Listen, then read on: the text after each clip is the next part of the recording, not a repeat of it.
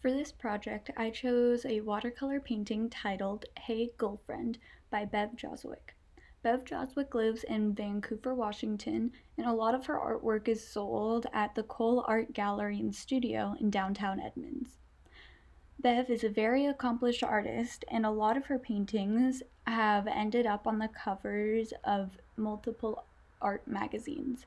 One of these magazines was Watercolor Artist National Magazine, and she had one of her paintings um, on their cover in 2017. The focus of this painting is on the little girl talking to this seagull in what appears to be right on the shore of either a lake or maybe an ocean.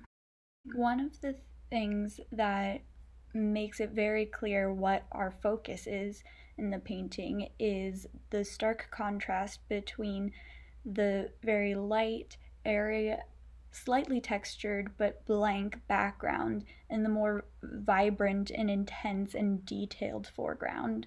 foreground. Another really important thing to notice about this painting is the variety in the lines used. So in the foreground, specifically on the girl and the seagull, the lines are a lot thinner, a lot sharper, and it appears to be more detailed. This makes the girl and the seagull jump out at the viewer, and that's what we want to look at. However, if you're looking at the lines um, in the background, you know, they're very faint and they're softer.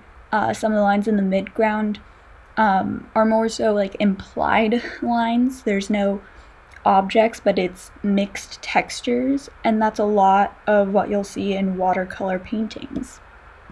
Lines aren't used just to tell us what to focus on, but lines are also directional cues. So when we look at this close up of the girl's hands and feet and the bird's feet, they're they're pointing in different directions. They're creating different lines across the painting. The girl's hands and feet are pointing us towards the seagull. This cues us in that the girl isn't interested in us, the audience. Her sole focus is on that bird.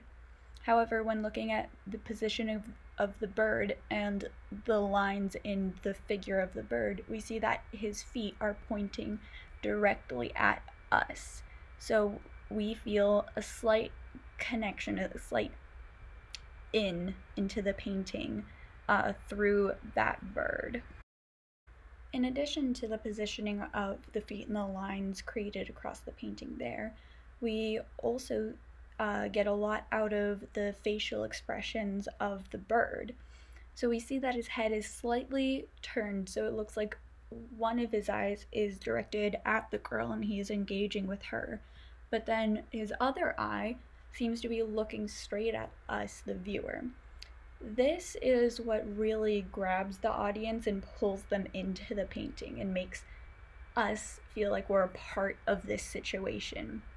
Um, what I found most interesting about analyzing and looking at a watercolor painting is that with watercolor you can't get exact details and really fine brushstrokes. They're typically a lot more vague open-ended strokes and colors are all bleeding together. So the fact that Bev was able to um, make the viewer believe that they're seeing details, I think is really interesting. And it also, um, as the audience, we look at this painting and we see a whole and complete scene when in reality, we're really only seeing the girl and the bird. We don't see the water beyond, but we know that there's water going out. We don't see every single grain of sand, but we know that the girl and the seagull are standing on the beach. Thank you so much for listening to my artwork research presentation, and have a good one.